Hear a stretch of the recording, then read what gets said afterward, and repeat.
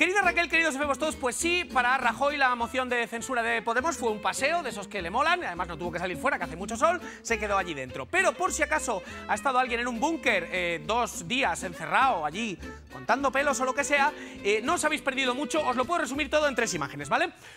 básicamente fue así, Irene gritó durante dos horas, mucho, ¿vale? Y Pablo, por primera vez en la historia, y un aplauso por favor, se puso una chaqueta de su talla, coño, por fin. Por fin una chaqueta que se compró en Zara Kids y le, quedaba en su sitio. Y eh, Irene gritó, Pablo su talla y por supuesto Rajoy, aquí lo vemos. Cuanto peor, mejor para todos y cuanto peor para todos, mejor. Vamos a ver a esta chica de aquí porque estaba traduciendo así y ya había, había un momento que ya hacía así todo. ¿Cómo traduces esos signos? Así y acabó con un, con un corte de mangas. Rajoy ha vuelto a hacerlo, un nuevo hit, es increíble. Yo creo que en los mítines ya le piden, le piden los éxitos.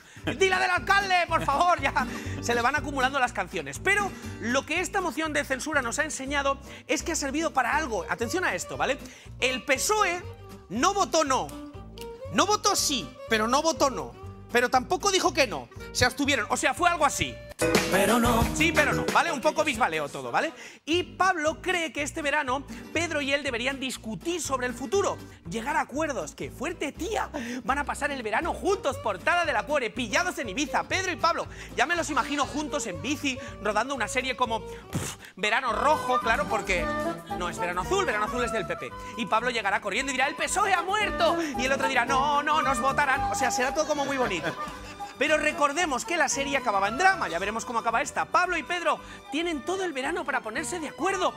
a lo mejor se van a un crucero, Qué bonito, un crucero del amor. Y mientras ven atardecer en alta mar, Pablo le habla de socialdemocracia y Pedro se tira del aburrimiento, claro. O no, o se enternece y se van al camarote. Y entonces Pablo le dice, píntame como a una de tus chicas francesas.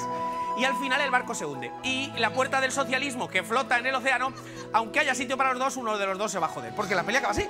Pablo tiene todo el verano para convencer a Pedro. A lo mejor prefieren planes tranquilos, como irse, por ejemplo, a un lago a pescar a pescar votos imaginarios. ¿Os podéis imaginar lo que puede ser una turra en una barca en un lago con Pablo Iglesias? ¿Tres horas?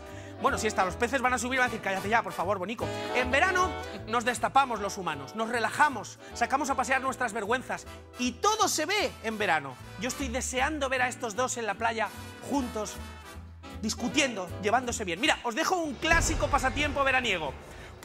Busca las siete diferencias, venga. Y no hablo del físico, ¿eh? Venga, hasta luego, amiguitos.